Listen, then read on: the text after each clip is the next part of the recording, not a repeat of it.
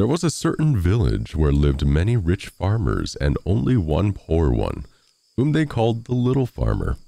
He had not even a cow, and still less had he money to buy one, and he and his wife greatly wished for such a thing. One day he said to her, Listen, I have a good idea.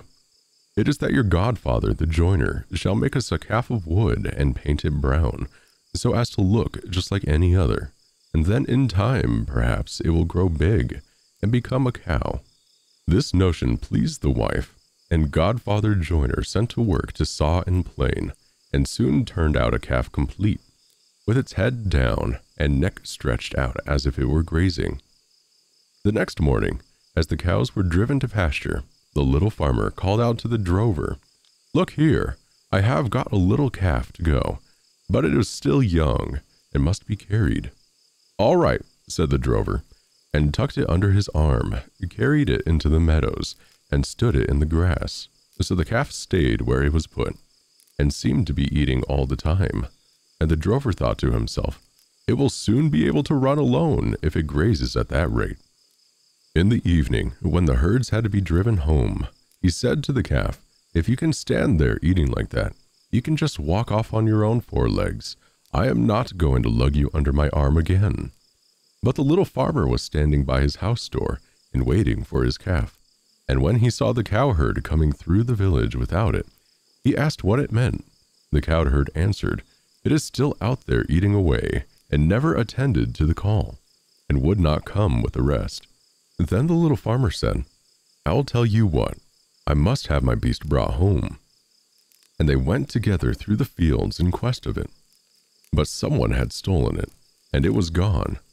And the drover said, Mostly likely it has run away. But the little farmer said, Not it, and brought the cowherd before the bailiff, who ordered him for his carelessness to give the little farmer a cow for the missing calf. So now the little farmer and his wife possessed their long wished for cow. They rejoiced with all their hearts, but unfortunately they had no fodder for it, and could give it nothing to eat so that before long they had to kill it.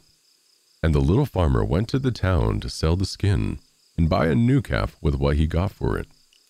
On the way, he came to a mill where a raven was sitting with broken wings, and he took it up out of pity and wrapped it in the skin. The weather was very stormy, and it blew and rained, so he turned into the mill and asked for shelter. The miller's wife was alone in the house, and she said to the little farmer, well, come in and lie down in the straw. And she gave him a piece of bread and cheese. So the little farmer ate, and then lay down with his skin near him. And the miller's wife thought he was sleeping with fatigue. After a while in came another man, and the miller's wife received him very well, saying, My husband is out. We will make good cheer.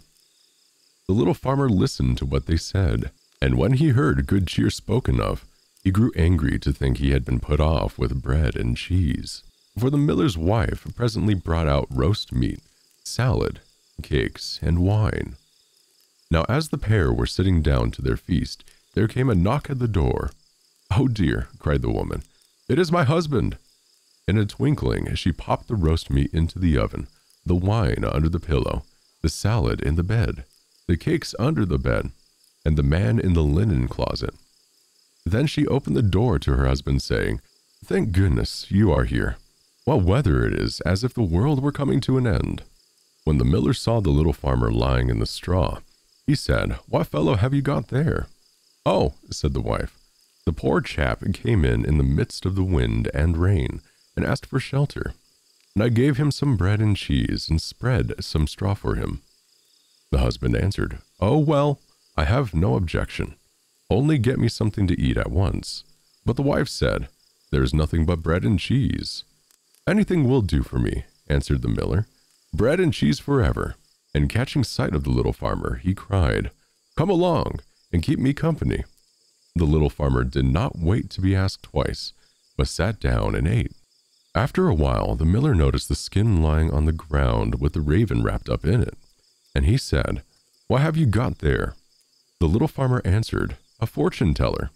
And the miller asked, Can he tell my fortune? Why not? answered the little farmer. He will tell four things, and the fifth he keeps to himself. Now the miller became very curious and said, Ask him to say something. And the little farmer pinched the raven so that it croaked, Cur, cur. What does it say? asked the miller. And the little farmer answered, First, he says that there is wine under the pillow. That would be jolly, cried the miller, and he went to look and found the wine, and then asked, What next? So the little farmer made the raven croak again, and then said, He says, secondly, that there is roast meat in the oven. That would be jolly, cried the miller, and he went and looked and found the roast meat. The little farmer made the fortune teller speak again, and then said, He says, thirdly, that there is salad in the bed. That would be jolly, cried the miller, and went and looked and found the salad.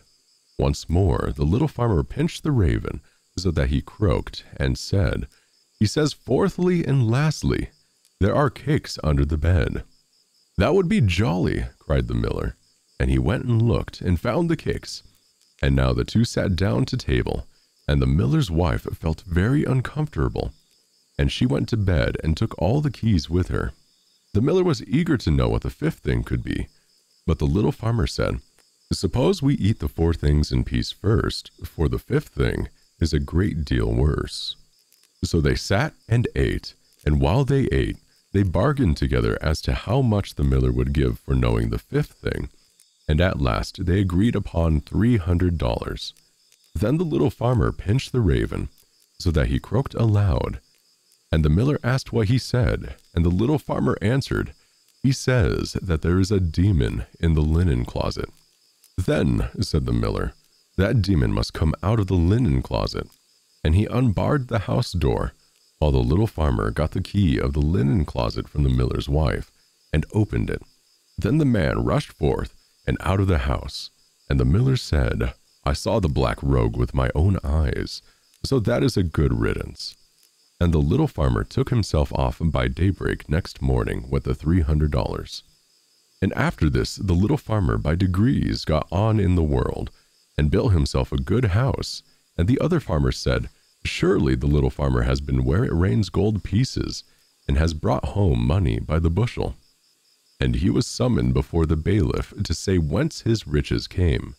And all he said was, I sold my calf's skin for three hundred dollars. When the other farmers heard this, they wished to share such good luck, and ran home, killed all their cows, skinned them in order to sell them also for the same high price as the little farmer. And the bailiff said, I must be beforehand with them. So he sent his servant into the town to the skin buyer, and he only gave her three dollars for the skin. And that was faring better than the others, for when they came, they did not get as much as that. For the skin buyer said, What am I to do with all these skins? Now the other farmers were very angry with the little farmer for misleading them, and they vowed vengeance against him, and went to complain of his deceit to the bailiff. The poor little farmer was with one voice sentenced to death, and to be put into a cask with holes in it, and rolled into the water. So he was led to execution, and a priest was fetched to say a mass for him, and the rest of the people had to stand at a distance. As soon as the little farmer caught sight of the priest, he knew him for the man who was hid in the linen closet at the miller's. And he said to him, As I let you out of the cupboard, you must let me out of the cask. At that moment, a shepherd passed with a flock of sheep, and the little farmer, knowing him to have a great wish to become bailiff himself, called out with all of his might, No, I will not, and if all the world asked me, I would not. The shepherd, hearing him, came up and asked what it was he would not do. The little farmer answered, They want to make me bailiff if I sit in this cask, but I will not do it. The shepherd said, If that is all there is to do in order to become bailiff, I will sit in the cask and welcome. And the little farmer answered, Yes, that is all. Just you get into the cask, and you will become bailiff. So the shepherd agreed and got in, and the little farmer fastened on the top. Then he collected the herd of sheep and drove them away. The priest went back to the parish assembly and told them the Mass had been said. Then they came and began to roll the cask into the water, and as it went, the shepherd inside called out, I consent to be bailiff. They thought it was the little farmer who spoke, and they answered, All right, but first you must go down below and look about you a little. And they rolled the cask into the water. Upon that, the farmers went home, and when they reached the village, there they met the little farmer driving a flock of sheep and looking quite calm and contented. The farmers were astonished and cried, Little farmer, whence come you? How did you get out of the water? Oh, easily, answered he. I sank and sank until I came to the bottom. Then I broke through the cask and came out of it. And there were beautiful meadows and plenty of sheep feeding, so I brought away this flock with me. Then said the farmers, Are there any left? Oh, yes, answered the little farmer, more than you can possibly need. Then the farmers agreed that they would go and fetch some sheep also, each man a flock for himself. And the bailiff said, Me first. And they all went together. And in the blue sky there were little fleecy clouds like lambskins, and they were reflected in the water. And the farmers cried out, There are the sheep down there at the bottom. When the bailiff heard that, he pressed forward and said, I will go first and look about me, and if things look well, I will call to you. And he jumped plump into the water, and they all thought that the noise he made meant come. So the whole company jumped in one after the other. So perished all the proprietors of the village, and the little farmer, as sole heir, became a rich man.